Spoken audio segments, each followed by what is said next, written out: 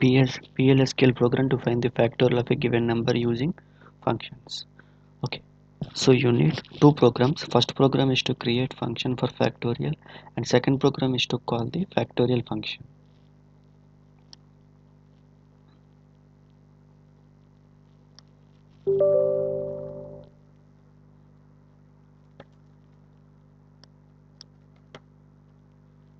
So to see the output you have to set server output on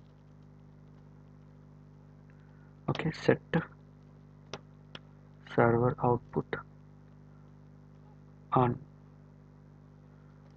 Okay edit. Factorial.sql I have already created a factorial program. I just opening it.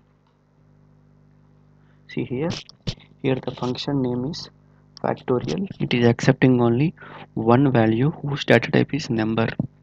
And the return type of this function is number okay. I'm using some variables. First one is fact. And the and the uh, data type is number whose value is 1 and also same i. Data type is number value is 1 okay.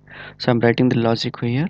So if m equal to 0 that means if the user supplied 0 value then the then the function will return 1 otherwise it will calculate the factorial logic like this okay a number will be incremented up to the given number. That means a number will be incremented multiplied from 1 to the given number. Okay. See here fact equal to fact into i means 1 into 1 next time 1 is incremented to 3 4 like this. The number is getting to multiplied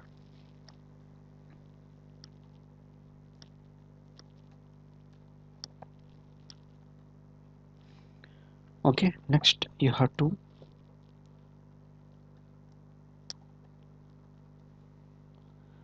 okay see here. This is another PLSQL program to call the factorial function. So declare here is one variable which will read value from the keyboard. Okay I'm taking one temporary variable whose name is result.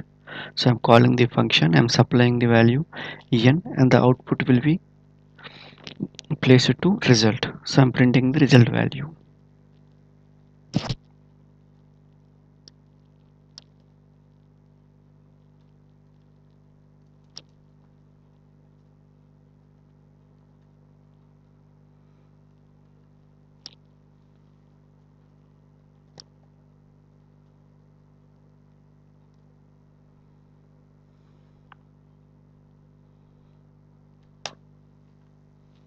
okay. Thank you